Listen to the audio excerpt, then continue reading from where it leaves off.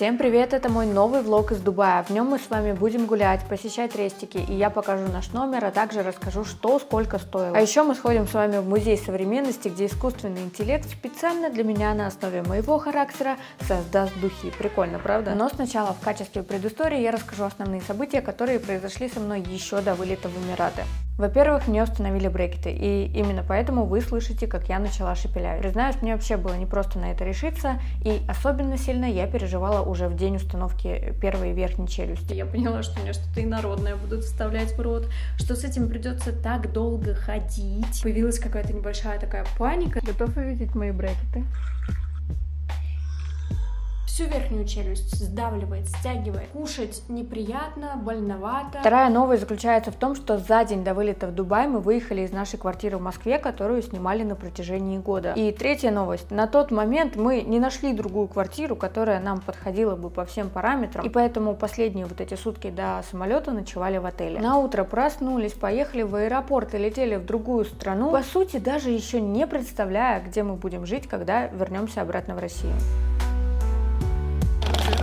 Когда я собирала чемодан, первым делом положила вот этого портативного малыша. Это ирригатор для очистки полости рта от бренда YouSmile. Он беспроводной, очень компактный, но в то же время его резервуара хватает для полноценного очищения. Устройство полностью водонепроницаемо, легко моется и имеет 4 режима. Мягкий, стандартный, массаж и мощный. Очень удобно, что одного заряда хватает на целых 3 месяца работы ирригатора. В комплекте были само устройство, три разные насадки, зарядка и инструкция. Данный прибор обладает высокой высокой способностью прочищать труднодоступные зоны между зубов. Продукция YouSmile сертифицирована и удостоена множества наград. Благодаря ирригатору YouSmile вы сможете не нарушать тщательное очищение зубов даже в путешествиях и поездках. В Дубае мы остановились в отеле Millennium Plaza Downtown. Занесли вещи, приняли душ и сразу пошли гулять. После перелета дико хотелось кушать, и несмотря на наше намерение правильно питаться в этой поездке, в кафе были заказаны две турецкие шаурмы. Когда нам их принесли, мы поняли, что можно было заказать одну такую порцию и вдвоем объесться. Что? Зайдем внутрь, я возьму полчаса, работает еще ТЦшка. Какая? Вот это. Чем за кофе? Можно я здесь пока поснимаю, ты сходишь? Ну, нормально, ты не потеряй. Ну, хорошо, давай. Здесь. Сейчас интернет работает? Нет. Тогда Ладно, я так пойдем. не буду. Ты потеряешься Просто без меня, пошли. Потеряемся, потеряешься, по- или потерял, или потер- потеряться. Сегодня мы исключим. Сейчас я вам покажу, какой потрясающий просто вид из номера. Приехали не то чтобы прям чилить, как это было в прошлом году. То есть это не прям какой-то отдых, мы здесь все равно работаем, сидим за ноутбуками какое-то время, потом гуляем. Короче, просто, наверное, больше какая-то смена обстановки. Если в прошлый раз мы катались на Мустанге по Пальме, ездили в популярную мечеть в Абу-Даби и даже летали на вертолете, то в этот раз в основном работаем в разных прикольных кафешках и много гуляем пешком. Даша выбрал какую-то очень красивую кофейню в стиле тропиков, что ли. В стиле тенниса большого. Тут еще есть а, корты, где играют в теннис. И вот тут вот прям покажу, какая тут красивая вот эта вот дорожка вот там. Вот. В музей будущего, на который выходят окна нашего отеля, билеты нужно покупать заранее, за несколько месяцев, чего мы, конечно, не сделали. И, в общем-то, не очень из-за этого расстроились, потому что об экскурсиях там в интернете много отрицательных отзывов в стиле «ожидания не оправдались». Но в холл на первом этаже бесплатно могут попасть все желающие. Тут довольно красиво и летает вот такой серебряный приколдес. А еще мне написали, что здесь искусственный интеллект может сгенерировать индивидуальные духи. Чтобы сделать эти духи, надо сначала ответить на список вопросов, которые мы получили по QR-коду. На заполнение анкеты у меня ушло около минут 15, и некоторые из вопросов заставляют задуматься, а некоторые термины я вообще, если честно, не знала. И надо было погуглить сначала, например, что такое кики и буба. Как бы ты описал мой стиль? Бизнес, хипстер, преппи, классический, повседневный, спортивный, городская, модный, рокер, богемный, хиппи, панк, старинный или арти? Красотка. Нет такого варианта ответа. После заполнения анкеты сайт выдает три варианта духов с подробным описанием составов. Персик. О, мне, наверное, второй понравился. Теперь остается оплатить 160 дирхам, и вся эта установка начинает автоматически работать.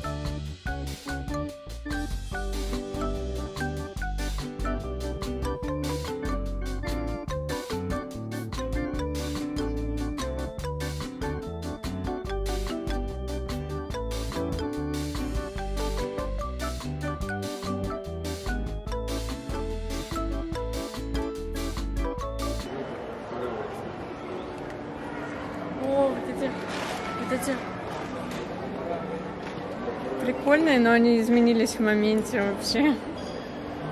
Прикольно, слушай.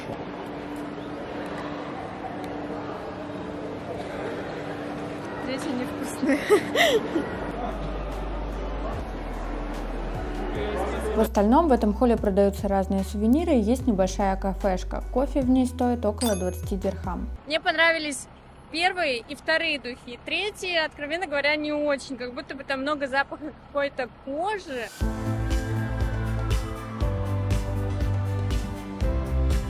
Лайфхак. Смотрите, все фоткаются там, у музея. Здесь вообще никого нет, а вид потрясающий. Просто большая часть музея видна. Клевый очень ракурс, пальмы. Само здание музея, конечно, уникальное, его хочется рассматривать.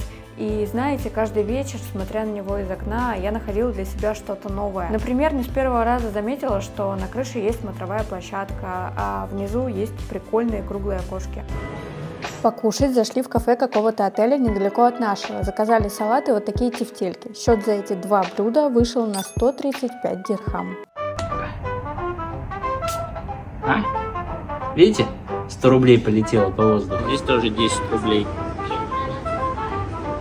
Забираем.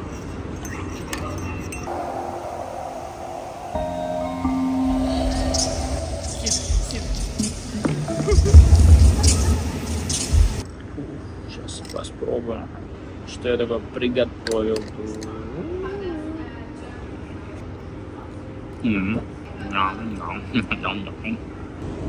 Те. Чисто на ПП. Но вот с понедельника точно.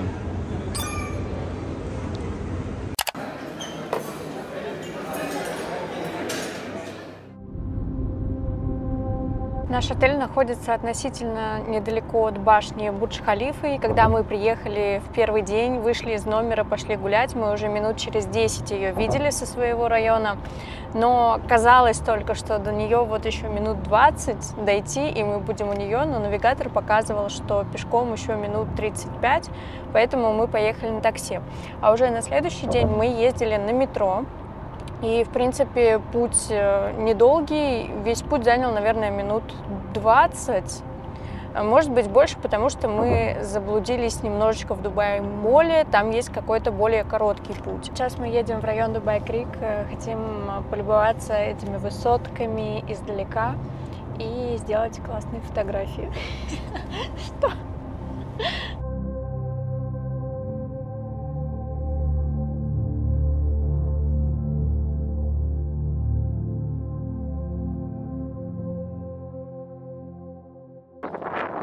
Хорошо, что у меня с собой была рубашка, потому что довольно ветрено. Э, э, Ну, с какой-то периодичностью. Сейчас, например, я иду, ветра нет абсолютно. Но несколько секунд назад он задувал нормально, что становилось прохладно. У меня вообще здесь в Дубае какая-то проблема, что я очень часто мерзну. Очень холодно в такси, в холлах, в отелях. Когда вот такой ветер тоже, то есть по сути может быть на улице сегодня вот э, 29-30 градусов, но из-за того, что порывами такой ветер, может не ощущаться такая высокая температура. Кажется, что прохладнее.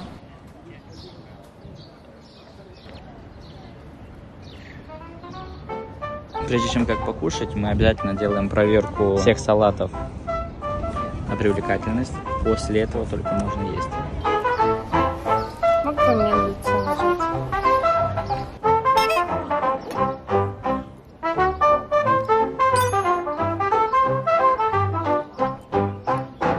Очень вкусно. Ну, такой какой-то с перчинкой. Если сравнивать за всем, что мы ели за последние дни, это самое вкусное, по-моему.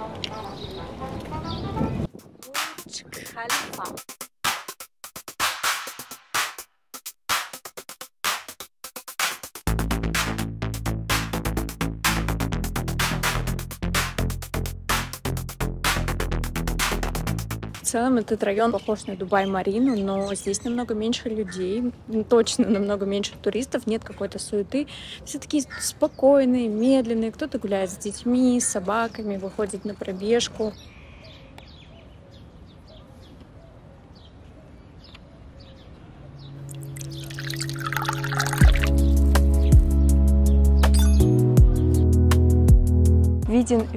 Дубай на закате. Это просто потрясающие виды. Когда солнце с той стороны подсвечивает все эти башни, это выглядит просто нереально.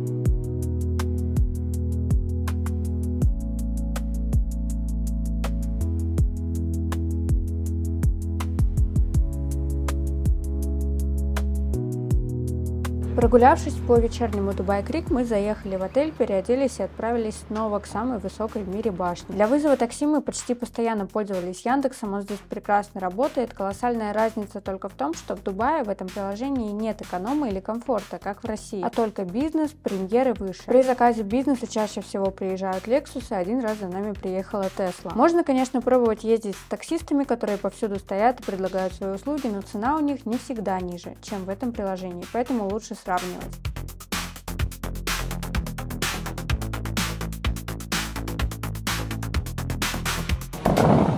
У башни нас встретили знаменитые поющие фонтаны. Когда я видела их впервые в прошлом году, у меня, честно говоря, даже слеза немножечко выступила от восторга и всей увиденной красоты. В те минуты, когда фонтаны поют, еще и башня начинает светиться. И все вместе выглядит как настоящее грандиозное шоу.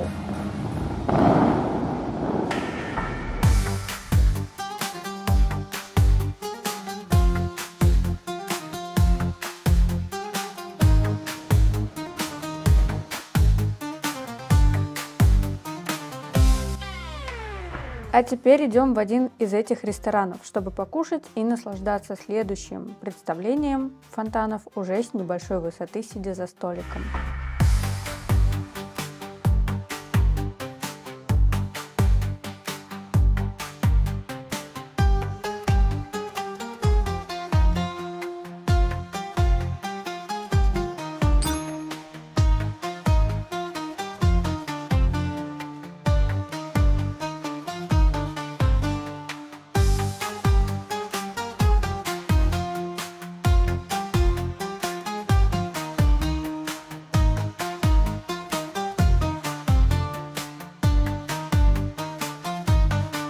Нам очень понравился этот ресторан.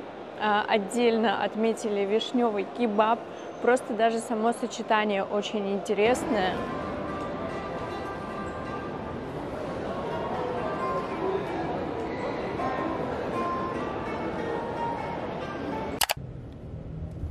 Утром мы отправились в красивое кафе Суани, которое находится в районе Джумейра, чтобы поработать за ноутбуками. Заказали кофе и горячий шоколад на 58 дирхам. Здесь, конечно, очень миленько. Как только я начинаю говорить в кафе, сразу блендер включается, самолет пролетает. Здесь, конечно, очень миленько, но Wi-Fi нет. А ты что заказал? Это тоже кофе? Короче, рассказывай. Не разбавляется ни сахаром, ни холодной водой, ни молоком. Это серия спыш теле теле теле и вот, это V60, она прям заваривается. Вот прям попробуй, она настолько мягкая, ты как будто вино пьешь. Может быть, тебе такой кофе будет нравиться. Да, а, пошла игра. No. Я не понимаю вообще, как ты пьешь э, что-то, кроме капучино. Это же просто что-то очень горькое. Мне нравится эстетика кофе, эстетика вина, но я этими напитками не могу наслаждаться. Какой-нибудь эспрессо я не смогу его пить. Американо не смогу. Обломавшись планами поработать из-за Wi-Fi, мы погуляли по местности, проголодались и пошли в другое заведение. Что, мы уже пришли, хочешь сказать? Да. это хижина, это кафе? Это место оказалось очень нетипичным и довольно уютным. В этом небольшом здании сколлаборированы кофейня и разные мини-магазинчики. Например, тут можно купить винтажную одежду, предметы интерьера, украшения или кофе. В кофейне меню постоянно обновляется и упор сделан на здоровую, полезную еду растительного происхождения. Мы заказали чай, две питы и салат. И в очередной раз убедились, что в этом городе можно заказывать одну порцию блюда на двоих. Ну просто посмотрите, какие они огромные. Так объелись, что места в животе для десертов не осталось, а Говорят, они тут тоже оригинальные, вкусные, да еще и полезные, без сахара и вреда для фигуры. Гадай, Леш, если бы э, у меня был выбор стать деревом, каким бы деревом я стала бы? А почему ты так смотришь, как будто тупой вопрос? То есть спрашиваете меня, каким бы выбрала пирожным я, я быть? Ты вчера спрашивал. Ладно, отвечу тебе на твой вопрос, если бы при каких-то обстоятельствах мне пришлось бы стать деревом. То я бы стала бы пальмой. Они такие красивые. Представь, если бы Дубай был без пальм, это уже был бы не Дубай. Прикольное место здесь. И у нас сложилось ощущение, что только мы знаем про это место. Это мы вырежем. Ты крадешь мои сторисы. Второй день к нам подходит охранник. Когда мы были в Дубае, Крик, э, из-за того, что я его случайно сфотографировала, и он просил удалить эти фотографии. А сегодня, если мы правильно поняли, э, он имел в виду, что сейчас пока нельзя снимать из-за того, что там пока что-то недостроено. Вообще в Дубае довольно строгие э, законы там, по поводу съемки и фото, и видео, но в то же время они непонятные. Первые дни я из-за этого не носила с собой камеру. Наверное, не так телефон бросается в глаза, все ходят, снимают на телефон, а вот камера, хоть она у меня и маленькая, но привлекает внимание. Из основных таких правил это то, что нельзя снимать в аэропортах, или в аэропортах нельзя снимать мечети, правительственные вот эти здания местных жителей, да и не местных тоже вообще, типа, людей лучше не снимать здесь. Вряд ли будет такое, что вас сразу оштрафуют, хотя не знаю, если вот прям какие-то типа сотрудники, так скажем, полиции увидят, что идет съемка, не знаю, как они будут действовать, но, по крайней мере, если охранники это замечают, они подходят и просто просят удалить эти кадры. Если сомневаюсь, э, можно ли где-то снимать, то подхожу и спрашиваю, можно ли использовать мне мою маленькую камеру. Когда мы были в Музее будущего, охранник отреагировал так, что «О май гад, какая большая камера!» Типа, конечно, можно, это какая-то мыльница, снимайте, пожалуйста.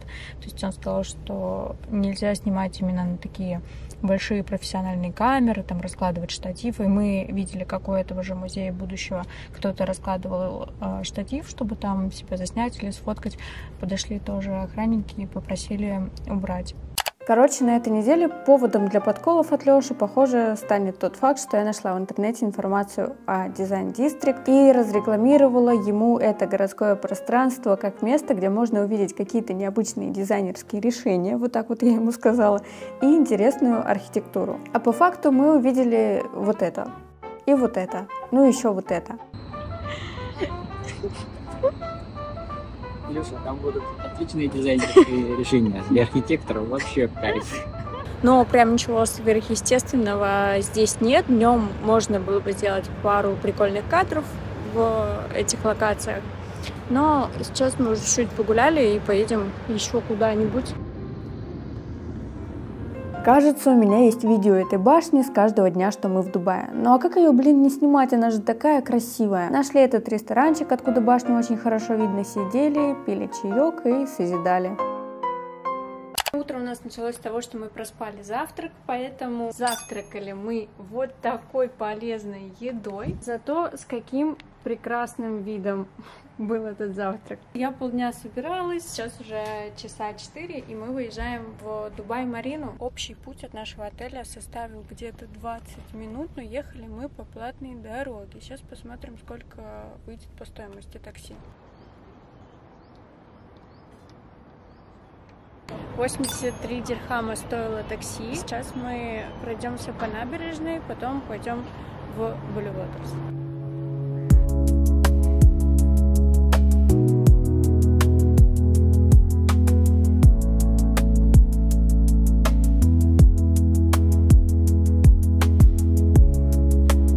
таком кораблике мы плавали в прошлом году в мой день рождения, и я, наверное, навсегда запомнила эти потрясные картинки, прямо как из карты желаний. В высотках отражалось яркое солнце, рядом летали чайки, а после заката открылись не менее красивые виды. Приколом для нас, конечно, тогда стало то, что там мы заказали во время плавания бутылку вина за 7 тысяч. И Леша еще сказал, типа, давай хоть э, нормального вина попьем. А потом мы погуглили, и оказалось, что в наших российских магазинах это вино стоило около 350 рублей. Да, вот так с алкоголем в Эмиратах все строго. В целом не везде продается. Там, где продается, стоит обычно недешево. Эти.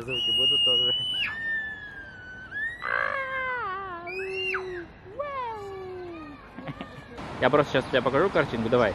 Мой мармеладный кошка там да пам.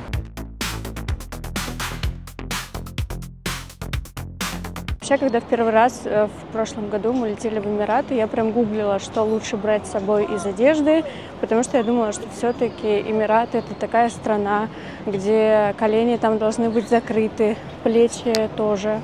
Но на самом деле ощущение, что Дубай, он как будто бы не относится к этим законам, потому что здесь достаточно много девушек ходит и в коротких шортах, юбках, в платьях. Наверное, это из-за того, что все-таки Дубай, он такой более туристический, возможно, где-то на окраинах, там уже действительно нужно заморачиваться в этом плане.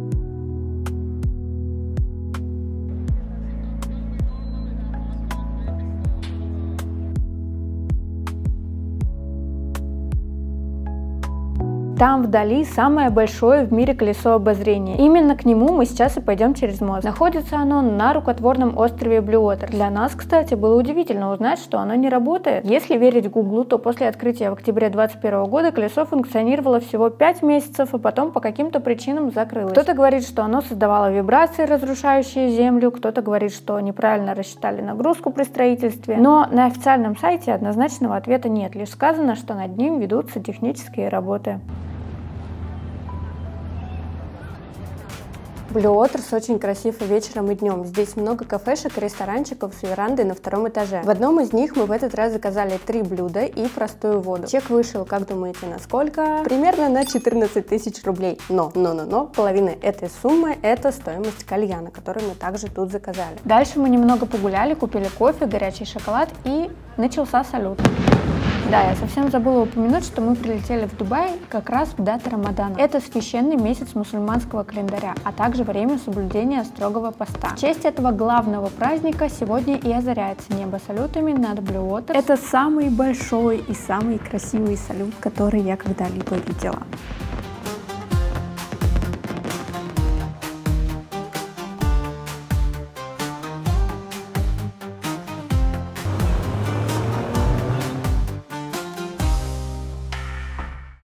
Пришло время выезжать из отеля. Я сейчас покажу вкратце наш номер. Начнем с ванной. Такое большое здесь зеркало. В целом норм, но э, нет лейки.